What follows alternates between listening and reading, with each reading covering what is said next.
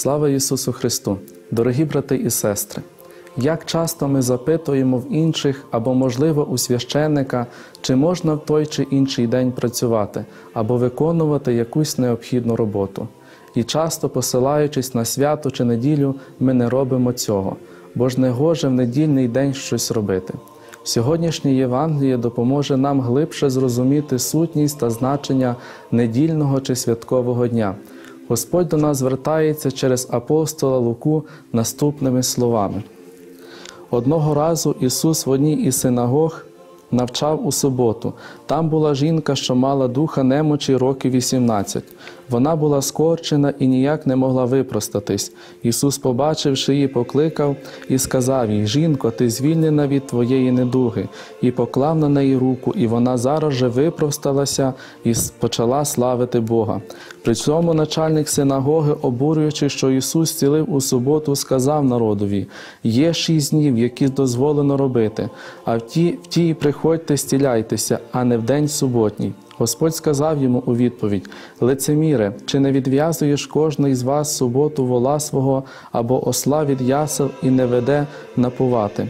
А цю дочку Авраамову, яку зв'язав сатана, ось уже 18 рік, чи не належало визволити від цих пут у день суботній? І коли він говорив це, усі, що противилися йому, засоромилися, і всі люди раділи всім славним ділам Його. Євангеліє нам розповідає про звичайну проповідь Ісуса у синагозі в суботній день. Зрозуміло, що на молитву туди зібралися багато народу, поза як для юдея того часу було необхідно виконувати Божу заповідь пам'ятай день суботній, щоб святити його. Шість днів працюй і виконуй у них всю роботу свою, а день сьомий субота для Господа Бога Твого. Але, на жаль, як і трапляється всюди, з часом заповіді втрачали свій зміст і огорталися в багато різних приписів, передань, які затьмарювали саму заповідь. І виконання цієї ж заповіді ставало спотворене. Це нам сьогодні і розкриває, і показує Христос. Під час своєї проповіді Він побачив жінку скорчену і опісля покликав і зцілив її. І ось тут, в сторону Ісуса, посипалось каміння докорів від ревнителів закону, які йому дорікали, що є шість днів, які дозволено зціляти, в ті і приходьте. Здавалося б для нас, дійсно, заповідь говорить про шанування суботнього дня. То чому Христос порушує цю заповідь? Відповідь же нам дає Христос іншому місці. Я прийшов не відкинути закон, а виконати Його. Господь Бог при творінні світу і всього, що його наповнює, вклав в нього основну істину Його існування любов, і заповіді показують і виявляють нам цю Божу любов до нас.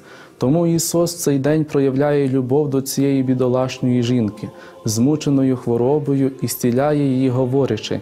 А цю дочку Авраамову, яку зв'язав сатана ось уже 18 рік, чи не належало визволити від цих пут у день суботній? А як нам, православним християнам, ставитись до суботнього дня? Бог заповів шанувати суботній день, тому що це був день спокою, коли Бог спочив від діл своїх. Чому ж ми зараз надаємо меншого значення суботі, а Богові присвячуємо день недільний воскресний? Для християн колосальне значення для життя має Христос і Його Воскресіння. Як каже апостол Павло: якщо Христос не воскрес, то і віра наша марна, і як свідчать євангелисти. Першого дня тижня після суботи, тобто у неділю, відбулося явлення Воскреслого Христа.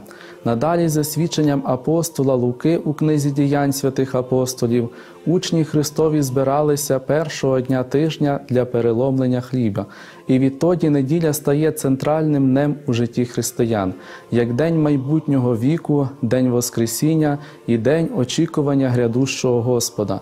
Дорогі брати і сестри. Кожен християнин повинен виконувати Божі заповіді, а особливо правильно вчити шанувати День Божий, шанувати його не в лінощах та гріхах, а через відвідування богослужіння, участі у спільній молитві та причасті тіла і крові Христової. по заповіді Господній, на прикладі ранніх християн, які збиралися у перший день тижня у неділю для переломлення хліба. Амінь. Слава Ісусу Христу!